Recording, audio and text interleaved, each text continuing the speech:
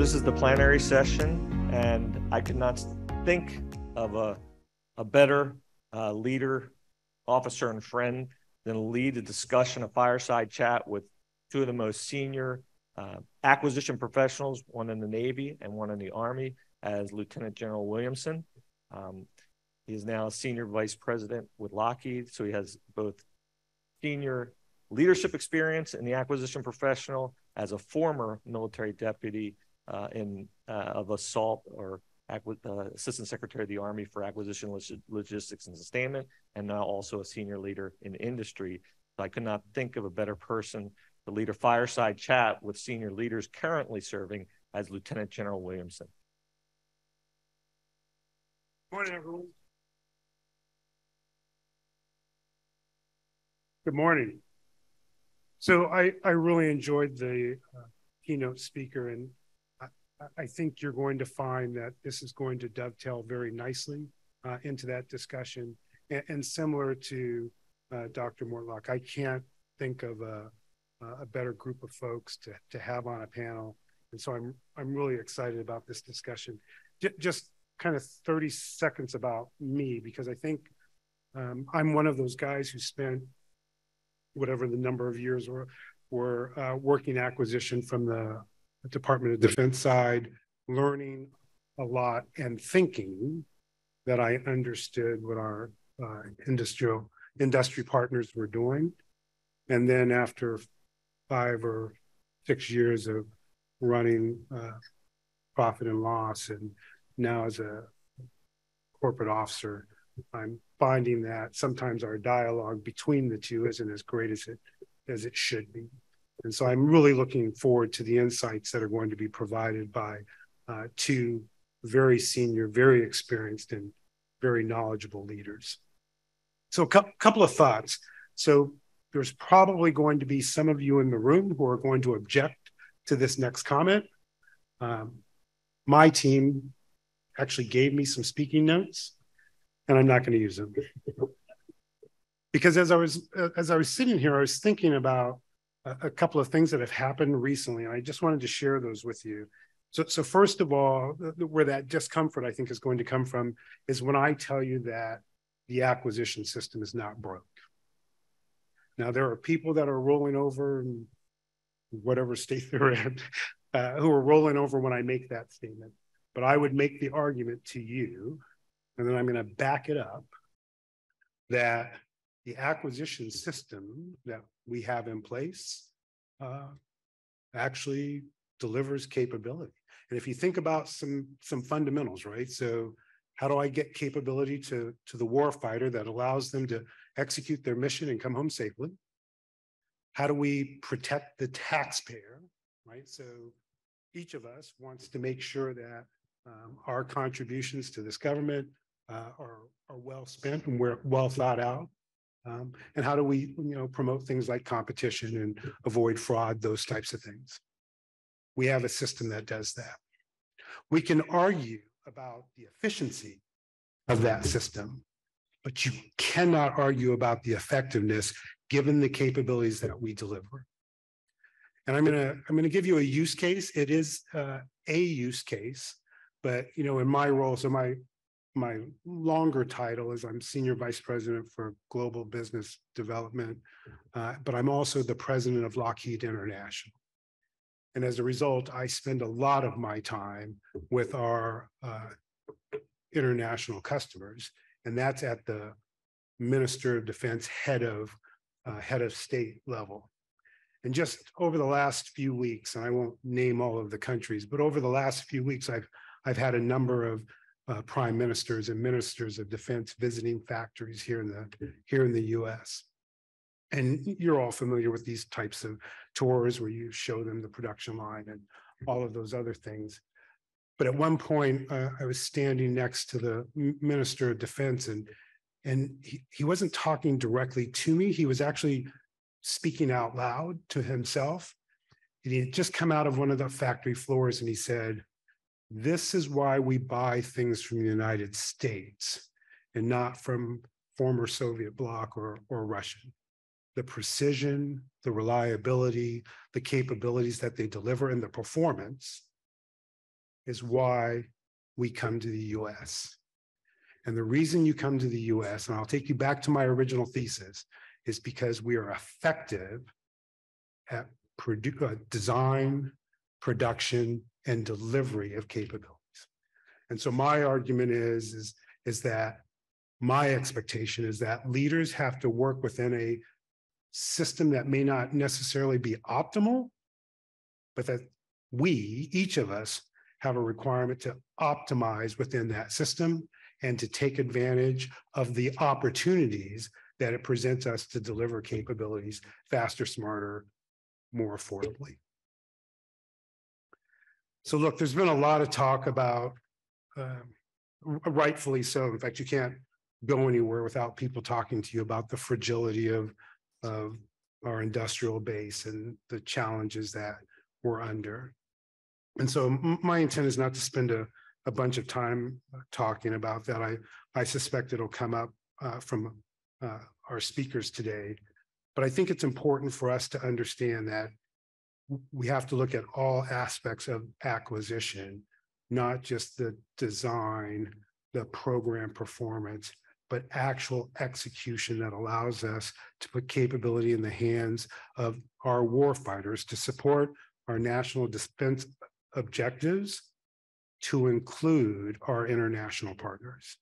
And so, what does that landscape look like, not only today? And, and I thought the keynote speaker made a really, really good point. But we have to look at it not just for today and for domestically, but when you look at our national defense strategy, how does that include uh, coalition partners? When you start to look at the development and the production of capability. So what I'd really like for us to focus on during the panel today is, so, so how do we influence that acquisition policy and process that allows us to encourage closer collaboration with our with our allies and closer collaboration between the department and the people that produce out in industry? How do we provide for the rapid development and delivery of capability. So, how do we not stymie the innovation that exists in this nation and outside of the shores of this nation to get capability to warfighters sooner? And then, as we just talked, how do we make sure that we promote an industrial base that has the ability to provide capability today, but also has the ability to surge as we look at the types of threats that exist today, not just in Europe, but also potentially in the Pacific. So to address those questions, we again are, are very lucky to have uh, two outstanding uh, senior leaders. First, uh, Lieutenant General David Bassett, who is the commander of the Defense Contract Management Agency. I've known General Bassett for years, and I'm looking forward to, to his comments. I am not going to do justice to the vast experience uh, that he brings to this discussion. But I would ask that if you get a chance to go to page 32 uh, in your your abstract and just look at some of his experience. Not only uh, it, it, so I don't want you to just focus on the number of years, but the diversity of experience that he brings across multiple platforms and capabilities. Also joined by Vice Admiral Frank Morley. I, I, I, haven't had a chance to talk to him about this. So, as an Army guy, I've landed on a carrier twice, scared the bejesus out of me. And I think I'll probably get this wrong, but you have 750 carrier landings? My God. So, anyway. Most of them with my eyes closed. So, so one of the things that uh, I think uh, I'm really excited to hear about from um, the admiral's experience is not only his operational experience, which is vast uh, commands of, of operational squadrons, but also the international experience that he has brought uh, to the table from his experience at, at NIPO. I'm I'm excited that both of you gentlemen could join us. I'm going to stop talking, and I'm going to uh, ask Dave if you have any um, introductory comments. Sure. Uh, thanks, Michael. It's a pleasure to be with everyone here today. Uh, when I heard the topic of today's panel, they said this is the future of Army and Navy acquisition. And then I looked to my left and my right and I realized this is not the future. The future is out in the audience. It's in the Naval Postgraduate Sc- uh, School students uh, that will be the future of defense acquisition. And so the investment that you're making, listening to us talk about, you know, acquisition of the past and what it means for the future, uh, I'm grateful to have you here. It's also great to sit another panel with uh, with Admiral Morley. Uh, I, I actually am not sure I realized until this morning that he was a pilot, which is really rare because usually you can tell if someone is a pilot very early on because they will tell you. Um, but um, and and you know in DCMA I've got I've got a lot of great Navy officers. I used to you know think about the Navy in two parts. It was the black shoe Navy and the brown shoe Navy. Uh, and having been in DCMA, I realized that the strength of the Navy is in their logistics and their supply corps. So for all the supply corps officers out there uh, who have put up with both the brown shoe and black shoe Navy for many years, God bless you. Uh, it's wonderful to see you today. Um, yeah, hell yeah, best part of the Navy. That, that wasn't supposed to be my opening remarks, I don't think. Um, so, you know, when we think about so, a couple of topics today about about speed in acquisition, about collaboration with allies, and about what it means to have a healthy industrial base, I think those are the great topics that we really have to focus on to help drive things forward. Uh, and having now spent three years as the DCMA director, uh, I've gotten to see what happens after contracts are awarded. Uh, when when the performance of delivering defense capability is largely constrained only by industry's ability uh, to get to dialed in production, to get to a point of production at scale that Dr. LaPlante talks about. And so sometimes when I'm talking to young acquisition officers and some that are not so young, I say, imagine for a minute that there were no DoD 5000 process at all. Okay, usually I get applause with that line. Um, but imagine there was no process at all. Uh, I, I, sometimes call it at back acquisition, no rules, just right. Uh, and all you had to do was the activities necessary to deliver today's advanced capabilities. You still have to design things and you have to do enough to get to a level of design that supports modern manufacturing. That means drawings for parts. That means mature designs that aren't going to change when you go facilitize to deliver them. You've got to design things. You have to manufacture at scale. You have to test to make sure that it does what you think it's going to do and that you're delivering a meaningful capability. You have to field things and you have to sustain things. And so if we do this acquisition thing right, uh, we're going to run programs that are not constrained by a contracting process or by a set of milestones that we drag program managers through in the Pentagon. And that has been delightful in my experience. Uh, but we're going to be constrained by the activities. And the reality is, is that delivering today's highly complex capabilities, those activities, they take a while it takes a while to build the tooling, to put the supply chain in place, to get the software finalized, to get the drawings in place. Those activities, even if DoD weren't looking, would take the defense industry a significant amount of time to deliver new capabilities. And so I think sometimes, uh, as, a, as an institution, people who are not deeply uh, steeped in acquisition uh, are, are often told, well, let's bring some people in that have, that have no idea, that don't do this professionally, and we'll bring someone in from the outside so they can really reform it. And I'm here to tell you today that the path to innovation in acquisition isn't in people that are less familiar. It's with a team of trusted professionals that understand how to deliver capability and deliver it to our warfighters. No one that is unfamiliar with something has ever innovated it. And so it's going to be the professionals. It's going to be the people dedicated to our professional craft uh, that make a real difference. And so we're going to get contracting off the critical path. We're going to get acquisition bureaucracy off the critical path. Uh, and we're going to get to that point of dialed in production. And so, you know, to, to the earlier comments around test, I think um, if you look at what our adversaries are capable of doing, it is frequently because they are, are willing to live with less than perfect solutions while they learn, right? And so our whole system is not really designed to do that. Uh, it's designed to, to, to, to stretch for very exquisite requirements, and it's designed to test for nearly perfect knowledge. Uh, and I think if we're going to go faster, uh, we're going to have to learn to deal with some of the ambiguity of maybe not knowing quite as much or fielding a capability that we know isn't perfect. And I think we have to shift our culture to test to understand capabilities and limitations more so than what I think is an often subjective standard of suitability and effectiveness. And I a couple of examples of that. Uh, one is reliability. Uh, clearly, with a, an airplane, it has to be highly reliable because if it's not, it drops out of the sky. Um, the things that I've managed don't normally drop out of the sky, tanks and trucks and all those other things. And so we would get a reliability requirement from our user that said it has to be X number of thousand miles between failure. And then we would test to that as a KPP and we'd say, if it doesn't meet that, we don't want it. So it, has got to be at least 2000 miles between system abort. But what if it's 1900? Would you still take it?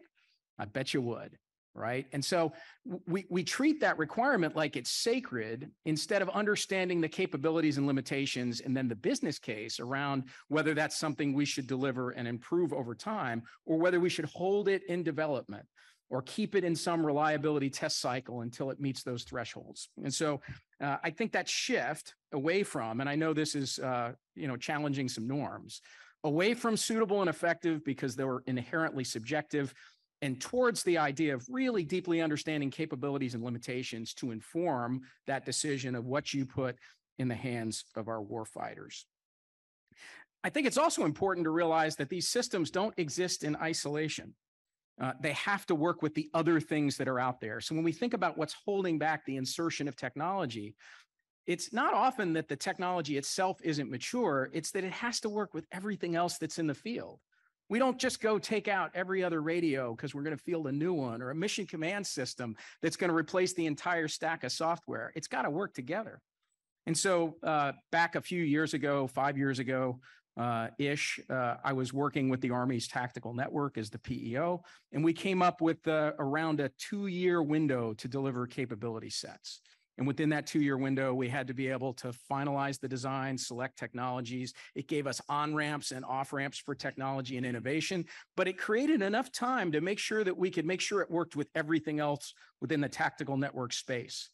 And when you looked at the activities, two years was about as fast as you could go to have a rigorously testable solution that we thought you could feel good putting in the hands of soldiers, even for a limited number of brigades.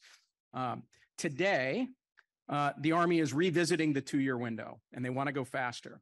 And so my challenge is going to be let's understand what was in the schedule, what the activities were. And you're not going to go faster simply by demanding that it go faster. You're going to go faster by selecting a different subset of integration activities. And you're going to do less and you're going to field it with less confidence. And we should be confident that that faster delivery cycle actually is going to deliver a better capability uh, we didn't arrive at two years very lightly, right? It was it was a balance of rigor and and innovation, and and being able to pull those things together. And so that those on ramps and off ramps for technology are really important. If you have no developmental programs because everything has to be delivered rapidly, you will have limited opportunities to transfer that technology. Um, so the last thing I'll talk about is about this notion of innovation and how we really, I think you have to fund for that over time. Uh, when I when I was the program manager for the JLTV program, we had to make some really unrealistic assumptions about technology insertion. And the assumption we made was that we were going to create a design and pretty much stick with it. Because the minute I started to inject technology, I had to model the cost of that technology insertion and the potential increase in the cost of the end item. And when we were taking that program through its milestones, and this has been true of all the big programs I've ever run, we were really answering only two questions in the Pentagon. Was could the Army afford to buy it? And could the Army afford to sustain it? And if I acknowledged the technology insertion, like in a real way in our cost model, it would be less affordable and unlikely to make it into production at all. And so, uh, you know, this past week, I was up in Seattle for a, a summit on the KC 46 and it was like this blinding flash of the obvious that we have to resource technology insertion over time. So the KC46 was designed around 2008, 2009. Uh, it was awarded in 2011. And so if you look at the technology that was available at the time of that design for the remote vision system, it was, I'll say, you know, 2007 camera technology. And so I, I kind of looked a little bit of it up. It, it corresponds roughly to the iPhone 4 uh, which had a fantastic three megapixel, I'm sorry, five megapixel camera. and a 0.3 megapixel front camera. Right. And that was more advanced than the technology available when they designed the vision system. And so, should we have been surprised that in 2020 we had to redesign that system to take on modern sensors?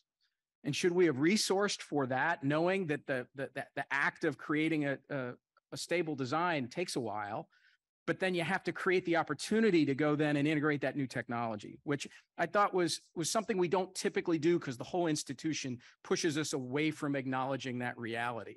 And even if you don't do it, you still have diminishing sources of supply on the old stuff that industry's not even making anymore. Right. So you're going to do one or the other. You're either going to modernize with new technology or you're going to face obsolescence that's going to cost you money anyway. And as a department, I think we ought to move on to the new stuff. So I know I've probably gone a little bit over time. Uh, those are some of the challenges I think that that have come into play, and I'll turn it over to uh, to uh, to to uh, the admiral here for uh, his opening remarks. Okay, awesome. Thank you, Dave. So it's a privilege to be here. Uh, thank NPS for putting this on for as many years as you have. It is a wonderful opportunity. We'll comment on that here later, I think, as to some of the advantages of it. Uh, my friend, my test pilot school uh, classmate, Ray Jones, thanks for the invite and for all that you do to uh, to help educate the uh, up and coming acquisition side. Dave, it's probably uh, okay that uh, you didn't know I was a pilot. I was, I've been, uh, if you read my bio, I was ship handler of the year and I was program manager of the year, but I was never pilot of the year of anything. so I, I guess I'm like the Happy Gilmore of aviation, right? you know, yeah, I'm a hockey player. May- Maybe not, maybe not. So uh, that's all right. The, uh, but I do come with a nine word Pentagon title two of which of those words has deputy and assistant in it. So it is uh, that means that I don't get out much, and it is uh, it is certainly nice to be here on the West Coast uh, and with all of you. And it's awfully nice. Uh, I love coming. Uh, uh, from the East Coast to the West Coast, you pop awake at 4 a.m. and uh, you've already got emails in your box. You knock those out, you work out, you go for a run along the beach, uh, you do some more emails, and then you're ready to go for the day. So it's if you could only be that productive every day, it's wonderful. Just keep heading west every day, I guess, on that. And then I guess the last thing I'll say from a credibility standpoint, since we're talking aviation, I do come from the service that gave us Top Gun 1 and Top Gun 2. Uh, Dave, of course, comes from the service that gave us Firebirds. And uh, and then before the Air Force guys laugh too loud, uh, they come, they gave us uh, Iron Eagle one through six. So so hopefully that'll add to some credibility. Uh, Uh, we also gave you 12 strong because we were actually involved in the fight. that was good. That was a good move. There you go. You're saying Top Gun wasn't realistic? I'm, I'm, I'm saying I, I don't like Tom Cruise. Okay, so uh to pick up on a couple of themes here, um, you know, so so everybody knows this. This is, y- y- I mean, we're in a different environment now, right? So, you know, six, seven years ago, it wasn't like there was a decision meeting, but the national security establishment of the US kind of flipped over. We recognized China wasn't going to play ball in the Western liberal democracy of the of the world since World War II. Uh, that uh, they had closed the gap, uh, whether militarily or uh, in the commercial sphere. Uh, we had a real uh, competitor again, and the uh, atypical era of history where we did not have, we were a sole superpower, non-existential threat in the world was closing. And so we're just in a different era.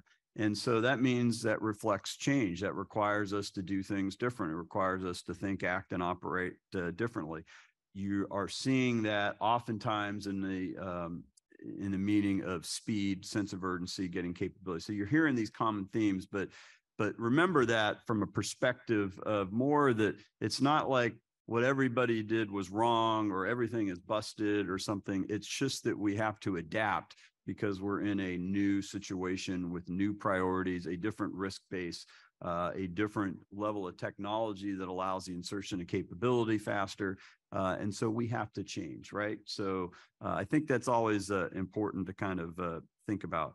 Uh, also, to to Michael's opening comments on the standpoint of uh, it's not broken. I tend to when I talk to the acquisition workforce or others, uh, I tend to try to remind them, okay, look, we've got a lot of things, a lot of problems, a lot of things to get better on and a changing environment, as I said, that's going to require us to do things differently.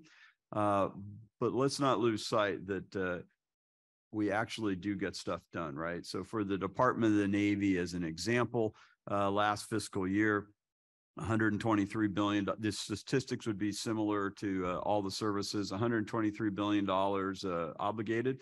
Okay, that was pretty much most of the acquisition, uh, procurement R and D, uh, budget that was, uh, provided, uh, by the taxpayers. That represented over 230,000 contract actions in order to do that. Over eighteen thousand different prime contractors that we dealt with in order to make that happen.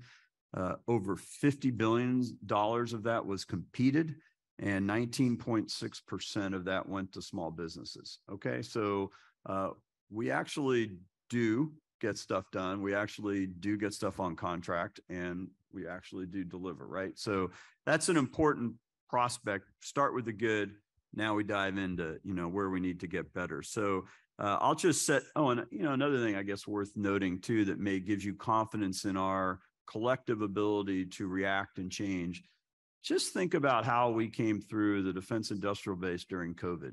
When we went into that, I'm sitting there going, oh man, and I'm sure Michael, you were, and, and everybody going, this is going to be catastrophic. We're going to shut down production.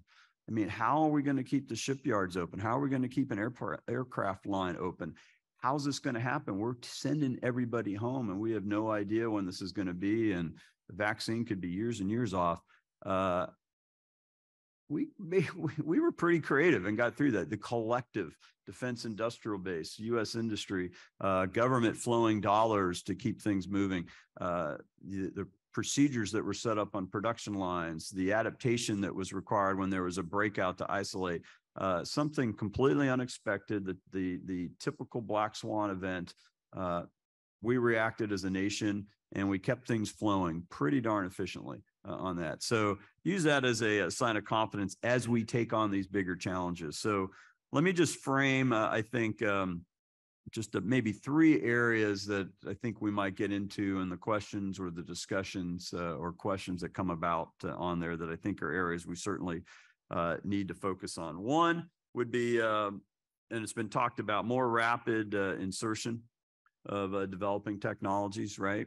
Um, they're uh, seventy-five percent, you know, we've flipped again, the world has changed and uh, the majority of the uh, driving technologies that we need to advance our operational capabilities and solve our operational problems are are being led in the commercial sphere and not the government labs anymore. That requires a different approach, a different ability to bring that capability in. And of course, we've got the the you know the sense of urgency of the uh, decisive decade uh, that we're dealing with, and we have the ability to insert this technology if we use it right. So that's that's an area that uh, we need to focus on uh, pretty heavily.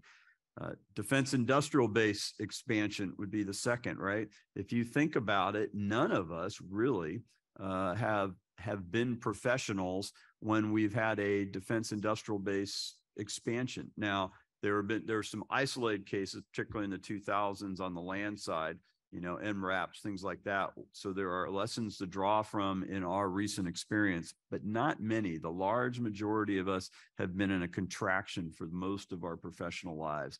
So that, and we are, and we're not going to expand the entire defense industrial base, but there are going to be areas uh, that we are going to expand for the Navy. Well, for everybody, munitions is first and foremost, right? And uh, staring us in the face. Uh, we can talk about that. Um, for the Navy, certainly submarine industrial base is another one where we've got a big, big hill and it, it's, they are similar stories for the other services. And then the third one, uh, that I would offer, we might discuss is the, uh, uh, what I refer to as bending the curve with respect to the cost and time of development. Uh, we have, uh, been, victims uh, for uh, for many years, uh, for decades, the whole world really, with the increasing complexity of the stuff that we design and build. Uh, and uh, we can talk about the systems engineering model and what digital now brings to us to be able to potentially uh, bend that curve. So I, that would be three areas that I would suggest that we're certainly putting focus on that is right and proper for us to incorporate for the times that we are now facing. And I look forward to the discussion.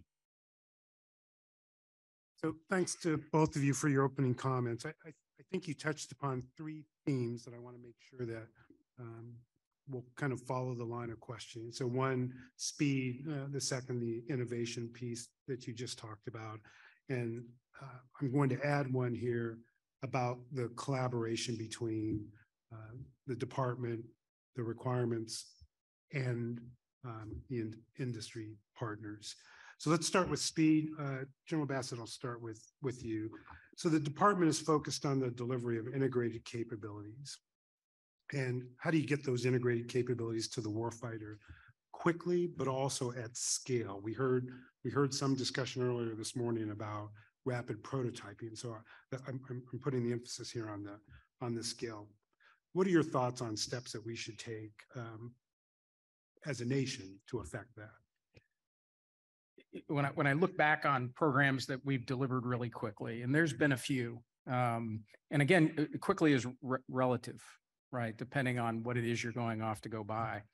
Um, I, I think you have to keep an eye on the, the actual activities to deliver it, right? The fastest thing to deliver is something that's already being manufactured, right? So a lot of folks look back to, say, the Army Stryker program as an example of a very rapid program. And there's this myth about it that says we designed it, built it, and fielded it in three years. Anybody heard that myth? It's not untrue. What's untrue about it is, is that it was it was already designed and it was already in production in Canada. And they just had to kind of agree on a set of requirements that roughly described the system that was already being manufactured. Right.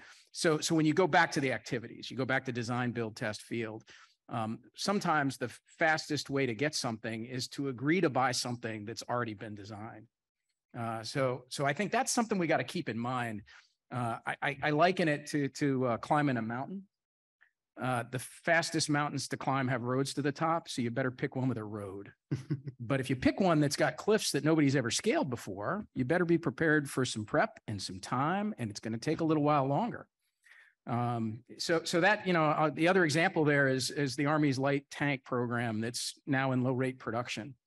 Uh, when we envisioned that program, we had an active and meaningful dialogue with our user around requirements that was informed by the timeline for manufacturing.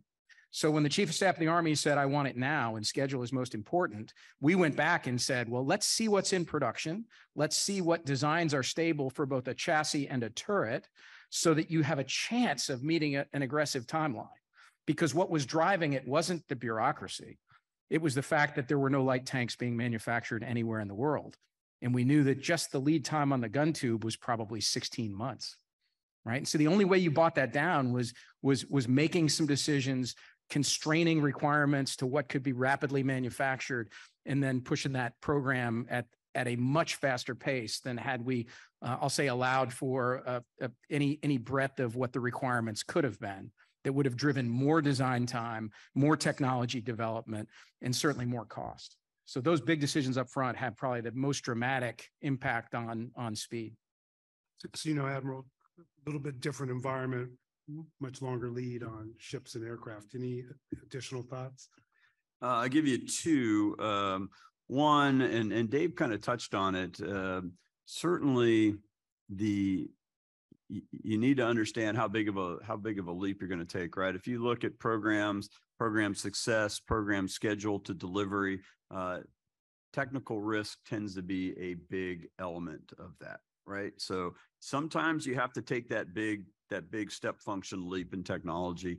But uh, that evolutionary development uh, plan is uh, is certainly has a lower risk bar and certainly historically proves out to deliver capability in a more predictable fashion. Um, you know, on on the airplane side, you can take well, I'll- I'll give you an airplane and a, and a ship's, uh, side of it, uh, where we've started to maybe bend the curve of just everything new, right? So the F eighteen example, right? That family of airplanes where it's been evolutionary development, F eighteen, the Super Hornet, okay, well, we're gonna take the same avionics, build a slightly bigger airplane, improve a few things, build some more capacity for the long term. But that was controlled technical risk and then insert the, the better, the radar, the AESA radar, the advanced EW suite as those things develop, right?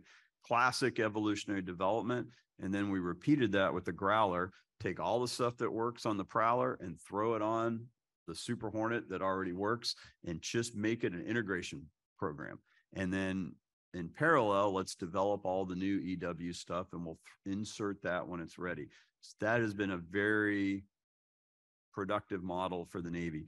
DDG fifty-one on the ship side's another great example perhaps where we said, you know what, the hull's good for a while. This is a decision, you know, years back.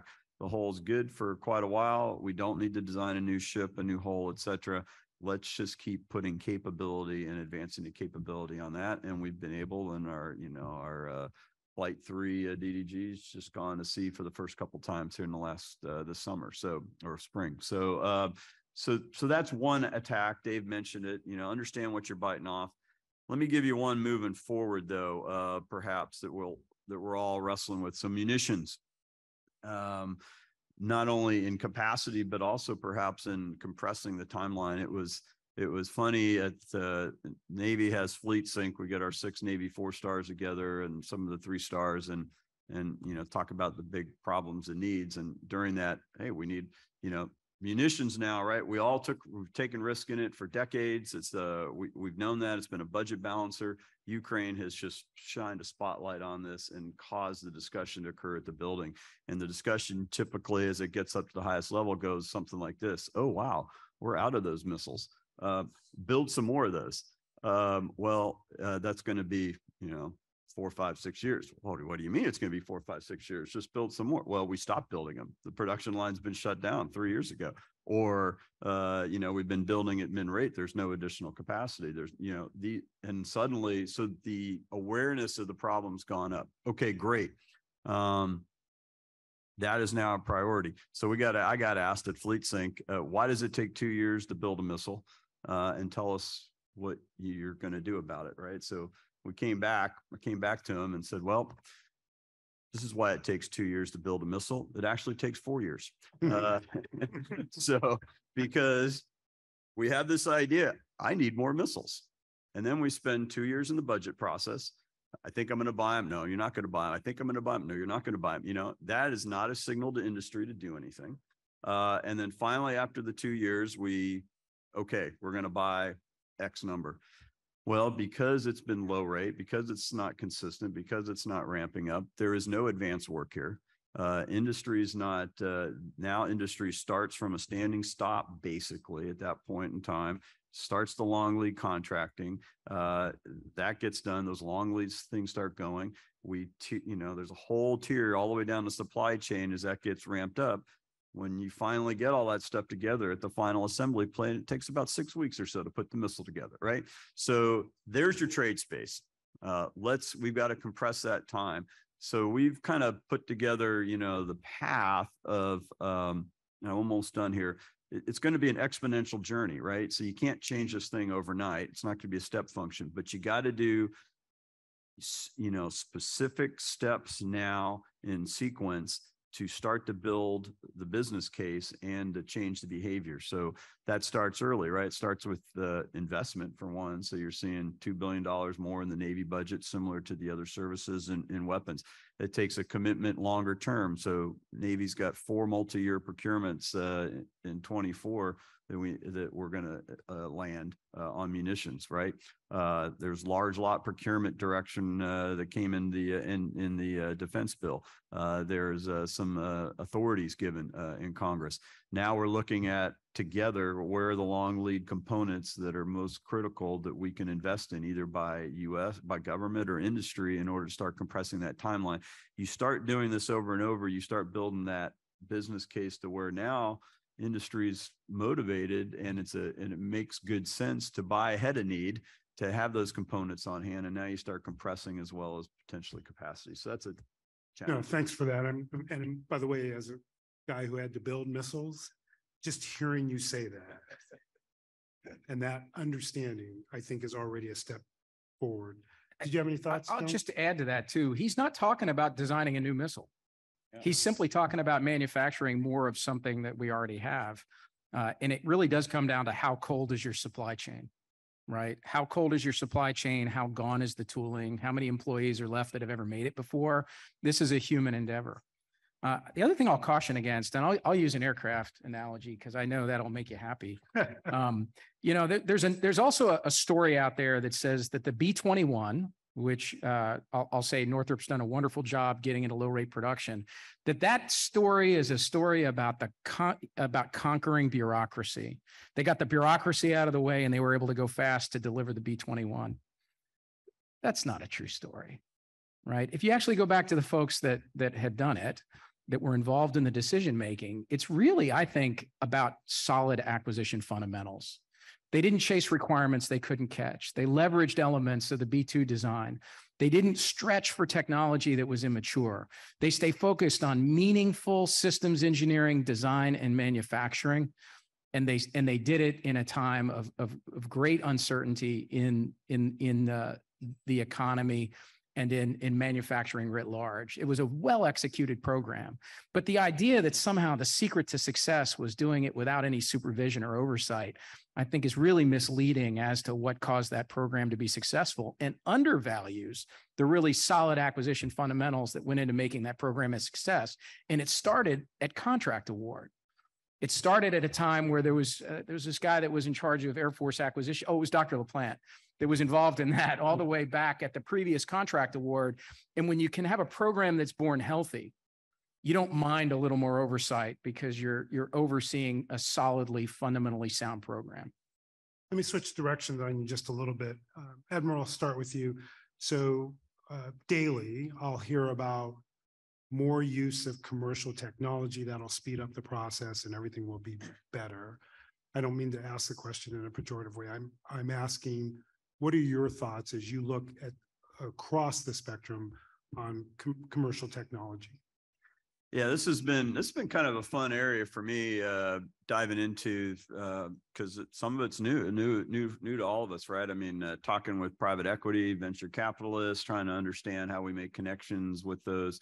Uh, again, because the majority of the leading technology development is happening in the commercial space now, so we have to adapt and change and figure out how to how to bring that in and bring it in faster. So this has been a you know learning experience for me. So by by no means am do I have all the answers here, but uh, during this, I've kind of uh, there, there, are many challenges, but there are three kind of key structural challenges to our system. I think that we have that that we're all collectively trying to address here. Uh, so bear with me here. So one is that we're really not structurally motivated. No one's motivated by existential need or, you know, their fit rep bullet or whatever it is that motivates you in government to to make those transitions right? I mean we've got our s&t folks uh, we've got our labs we've got our warfare centers. They don't not want it to transition. They're not going home kicking their dog at night right? They're good people doing good stuff. But their life's going to continue uh, as long as they continue to get funding and work and develop these things, right? And then you got the program side, and our R&D is going to fix the stuff we're supposed to field and and final develop, and it's behind and it's not quite there yet. And there's always a an area to do that, and there's really nobody that's sitting there trying to trying to grab this stuff over, right? Uh, I mean, we have some mechanisms, SBIRs, phases, and program sponsors and things like that. So we've got a few band-aids in there, but but nothing just basic into the structure. So that's that's one area. And you're seeing um, what you're seeing now are organizations that are springing up in order to try to fill that gap, right? So whether that's AFWERX on the Air Force or the unmanned task force that the Navy's played with, uh, NavalX, you know, trying to reach out and touch uh, commercial spheres uh, on these, uh, the Office of Strategic Capital now trying to make these ties and, and influence some of that effort with some money seeding uh, on that the you you can see that that learning trying to scale and figure out how to how to do that right? So that that's one area. Uh the second one is that again um a lot of these emerging technologies are going to drive a difference. These are these are ends up these are going to be inserted at the tier four tier four supply level right? So we in the government are probably not going to contract for an AI algorithm, right? We're going to contract for an airplane that has a mission computer that ha- does a capability that requires that AI algorithm. So, you know, we have to ensure that our ability to inject that not only is direct with us, but also through our primes or subprimes, et cetera, and that, that those paths are clear and that we're setting the stage to to encourage that and everything. So that's the second area. And then the mm-hmm. third one's the money one, right? So we're not typically structured to where when we do find those connections. So by the way, those organizations I mentioned that are standing up, what they're doing is they're taking a group of people that have it, it's it's a collective of both technology acquisition and and operational folks and they're doing the the hard work that an actual startup typically does in the in the commercial sphere where they are learning what the technology is that's available that's mature that's ready to transition then they're running out and talking to the operation commands and figuring out what the operational problems they need and they're making those connections right? Nobody does that as a full-time job except for these kind of things set up. Now but then when they do find the connection okay well i'll POM for that right? I mean so so what we're finding again in the AFWERX example, we've done it a little at a lower scale with unmanned task force in the Navy side is trying to find ways to bring money in immediately, whether that's diverting it or a fund or silver dollars that you can convert or whatever, uh, in order to continue to move that along while you POM for it so that it develops and it goes, which also then becomes an encouragement for those commercial firms to not just go dual use commercial, but actually see that we're on a path to scale if they stay military. So. No, thank you. Hey, General, can I just ask you, the same question, but you know, you've worn a couple of different hats as a program manager, but also having a lens from the contract side. Any thoughts? Sure. Uh, w- one of the ways we tried to get after, I think, what uh, Spanky just described, which is this difficulty of of POMing for emerging commercial technology, was in the network side for the Army. That was something we supported in a capability set model uh, model that we were we were pursuing, because it allowed us in the POM to to POM for a certain number of brigade sets of capability with with what amounts to a wedge for commercial technology that we wouldn't decide what we were going to get until we had finalized the design of that capability set. So it did allow for some on ramps for some commercial radios and other things without knowing two years earlier exactly what it was going to be. And that's, a, I think, a conversation with Congress as well, because it takes a certain level of trust to say, we're going to allow you to, to POM for dollars for commercial insertions that you're not 100% sure what it's going to be yet or which district it'll be built in. And that kind of uncertainty, right? It's uh, flexible funding. Uh, it, and, and a lot of, you know, when we had first started having this discussion, uh, I thought flexibility was the, the new F word in the committees. Um, but, but I think they've now, I think, gotten a little more comfortable with that idea that, that we can plan for commercial technology insertion. I'll say from the contracting side, um, we have a lot of dialogue with industry around what commerciality really means and then how that commercial technology gets applied when we go contract for it. I love commercial contracting, but I really like it when I know I'm actually paying a fair and reasonable price because the commercial market has set the price for that item. And frequently that's not really what we're talking about. And so I do see some companies try to use commerciality, particularly on something that they know I have to buy from them as a, as a way of expanding margins rather than speeding the, the award of contracts. So we're happy to pay commercial prices for genuine commercial items. But when we get into this sort of as a type commercial, um, we want to be confident that the level of modifications and the cost of those things still represents good value to the government. And uh, I would just encourage all the industry partners that commerciality should be a way of speeding contract award for the things the department needs, not as a way of demanding outsized margins that they would otherwise experience only in a commercial marketplace.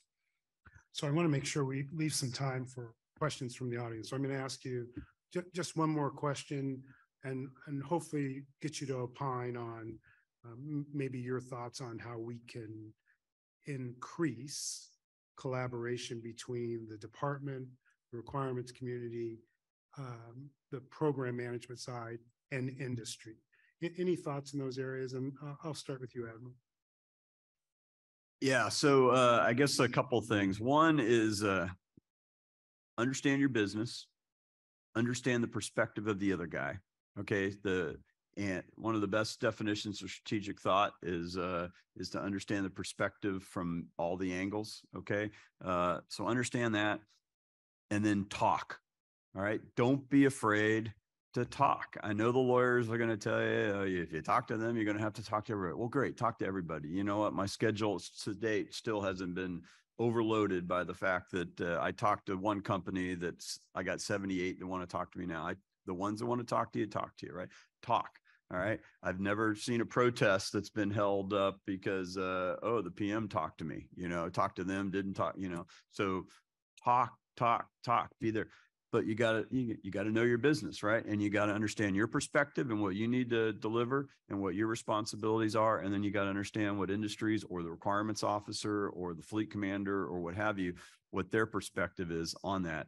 Um, and then you, then you build credibility. Okay, and then when you build credibility, what you end up finding out is you're, you're about eighty-five percent common space there with common objectives. And now on that fifteen percent where you've got fundamental organizational disagreements, you can have a productive conversation and resolve those or just choose to elevate the folks uh, on both organizations higher to help solve it. So um, know your business, understand their perspective. Don't be afraid, talk, build credibility, solve problems together. Dave? I, I really want to build on, on what uh, Admiral Morley just said about not being afraid to talk to industry. You know, you hear these stories about constructive changes and, and, you know, you got, you got a whole generation, I think, of, of acquisition leaders that are a little too afraid to talk to industry. There's really only one time when you shouldn't be talking to industry, and that's when you have an active RFP out on the street uh, or like in the middle of a protest, right? But outside of that, you should be talking to them. You should be helping, especially when you're starting to set requirements. And you got to remember that no company ever was awarded a contract for telling the government they couldn't do something, right? They're, they're, they're, they're predisposed to telling you what you want to hear. So you really have to ask questions in a way that allows them to provide meaning fee- meaningful feedback to you without making it appear as if they're going to be non-responsive to some future RFP. And so you got to spend some time developing those relationships, getting that honest feedback, uh, having that dialogue with them. Um, you need to understand how much process you're asking for to industry to provide. What are your procedurals going to cost industry to deliver? Uh, how could those be streamlined so that you're not paying for so much process and not as much product? You need to have that dialogue with a broad enough cross section of industry that you're actually getting meaningful feedback. Because if you if the first time you get that feedback is when the RFP is out on the street, don't expect to get a lot of candor in return because now they need to tell you yes in order to be responsive to that contract. And uh, and and you don't want to pick the best liar, right? You've asked them for something impossible. None of them want to tell you no, and you end up picking the person that tells you best what you want to hear, but it's not what you need to hear. So that dialogue with industry is absolutely critical. Thank you, gentlemen. I'm going to ask Dr. Mortlock if there's any questions from the audience. There is, and uh, the first question has to do with uh, jointness uh, and joint programs and the movement toward joint interoperability. Could you comment on um, the movement toward joint interoperability and what that does to competition then with industry for joint programs? I think the three of us have all had joint in our name at some point, but I'm gonna, I'm gonna start with uh, the Admiral. All right, so uh, it ebbs and flows, right? So uh, we have uh, you know, we have a good experience. We think it's a great idea. We have a bad experience. We we're we're a little shy of it. We're a little shy right now. I think coming off the F thirty five experience of the complications of a, a massive joint program office like that. There are other joint program offices that work great. Um, so there's there's examples both ways, right? So it, it ebbs and flows, and it depends on which which again it, it kind of gets to the uh, you know um, uh, as, as uh, talked about by Mr. Guertin on the acquisitions pathway, you got to choose the right path and the right model for what you need to get done, right? And then you need to execute it well. The uh, but there are other tools for this too, right? So there are lots of examples that are extremely productive that are um, lead follow uh, or cooperative uh, efforts. I'll give you a, a, just a couple of examples. So for uh, the longest time, uh, the Air Force and the Navy on the aviation side, you know, uh, in, in the international uh, space or even on the domestic space. Uh, on, on missiles, we lead some development of missiles. Uh, the Air Force leads other developments of missiles. So we have a seat at the table. It's different budgets, uh, that feed in, but you've got a single service that's the, uh, that's the MDA and the SAE and all that stuff. That works pretty good, uh, there. The, uh, and then when we represent internationally, we sign one case with a lead, uh, platform service, but then we're supporting elements that come in with the other stuff that goes onto that airplane. So that's a decent model that goes on the, on the Navy Army side.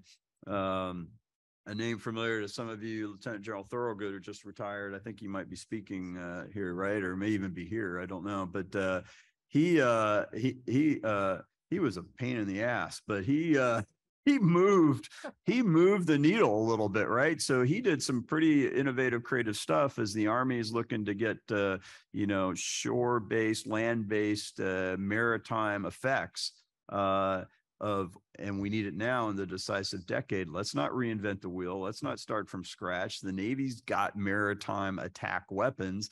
Let's use those and do that. And so the Army played off of existing programs that we had, and we even built them into our contracts and took stuff off of our already production line uh, runs in order to get them so they could integrate test and field. So those are a couple examples where we can work jointly. Dave, any quick thoughts? Well, I, I, I think, I think, uh, you really nailed it. Uh, we, we work best as a joint force when we're solving common problems. And so as Secretary Guertin mentioned earlier, the, the idea of, uh, I, I think I might have just gotten ahead of confirmation. Yeah. Um, sir, nice to see you. Um, but Director. Director. Right. Uh, By the way, I also have a one-word job title, not nine. Uh, But, but when, when we're solving common problems, uh, it gives, and, and I think that comes down to mission threads or mission webs where you're able to say, this is the operational effect I want to achieve across the joint force. And then you can distill it down to the set of things that must interoperate and where data must be passed to retrieve, particularly to retrieve that lethality effect on the battlefield. And, and then, you know, I, there, I, I chaired a panel yesterday with a paper that talked about the decision that countries make when they have to decide if they're going to make something, buy something, or collaborate.